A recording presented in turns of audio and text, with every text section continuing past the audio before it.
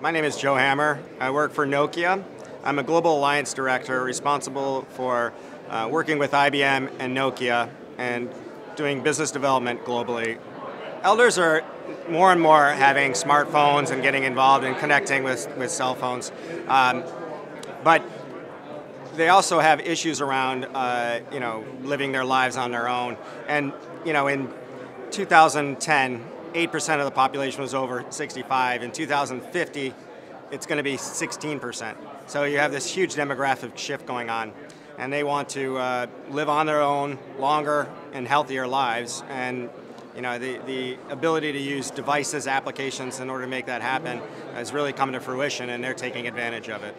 Obviously, the demographic shift from elder care, or for elders, and the significant amount of them is, is shifting it to be uh, more from a, a uh, helping people, you know, uh, with disease management to helping them stay healthier and out of hospitals with value-based care solutions. So uh, there are like three different areas. You know, you have the, the people that are coming out of hospitals that need to manage their health. There are the people that are uh, have are pre-diabetic or have diseases that, that could come to bear that they want to prevent. And then you have people that just generally want to live healthy lives. So in those three areas, um, uh, IoT and connectivity and, and new applications and healthcare devices and are all coming to, to kind of bear to, to help them to live longer and healthier and happier lives. Everybody thinks of IoT as like really cutting edge devices and that, you know, always getting information out of it but IoT, if you have really well-defined and well-designed devices, is can be brought to elderly people as well. This watch that I have on right now is a Nokia watch. It detects heart rate, it uh, does steps, it tells how well people sleep, and oh, by the way, it tells time in an analog fashion. So the blending of design with functionality in a way that is beautifully presents itself to everybody. I mean, I wear this watch because I didn't want to wear an iWatch. I wanted to wear a nice, cool looking watch that gave the same functionality that the iWatch gave me and look good. And I, am sure a lot of elders out there want the same thing. Uh, so it really shows how well design can overcome some of the technology barriers uh, in the marketplace, and, and that's how I think you know it, it crosses generations we design with connectivity in mind. I mean, so you have uh, our scales uh, are designed to interface with uh, Wi-Fi. We have thermometers that uh, do basically to, it's not just designing for connectivity, it's designing for connectivity to connect families and people together. So you have a thermometer that can scan the person, save that into the cloud, but then you can actually select on the thermometer itself what person's temperature you took.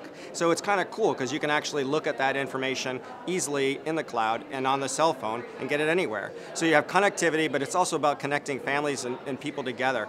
Um, our scales also, uh, you step on the scale, it does your weight measurement, it does your body and fat measurements, but it also tells you what the weather's like. So trying to tie really cool, interesting things that people are really interested in is exactly what Nokia is all about and why IoT is such an exciting space to be in. One other area that Nokia and IBM are collaborating around is around um, live event analytics and tying in, um, uh, for example, we, we, tying in people, fans, citizens, uh, people at train stations, passengers, etc., information about them, but bringing intelligent services and solutions to them. So one of the areas that we're looking to do is, is, is take live event analytics and understanding the consumers better, and then taking that and providing augmented reality, wayfinding, or enhanced video orchestration, or even virtual reality applications that people really want to use. So one of the gaps is just solving basic, simple problems that people have. So for example, people go to a stadium.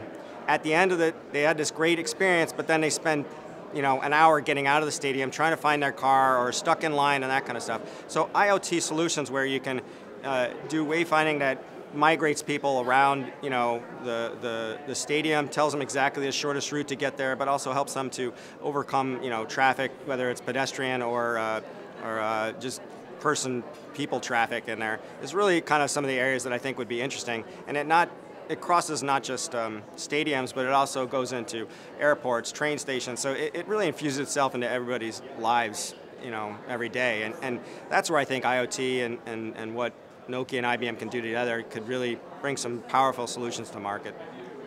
I love this show. It's awesome. It's been fun seeing all the new and cool, exciting uh, apps and IoT innovative uh, solutions like from lights on bridges to smart parking and smart drones, etc. So it's been a phenomenal conference and I am really happy that Nokia and IBM are working well together uh, to bring really new, cool and exciting uh, solutions to market and I can't wait to talk to you guys next year to, to show you some of the amazing things we're doing.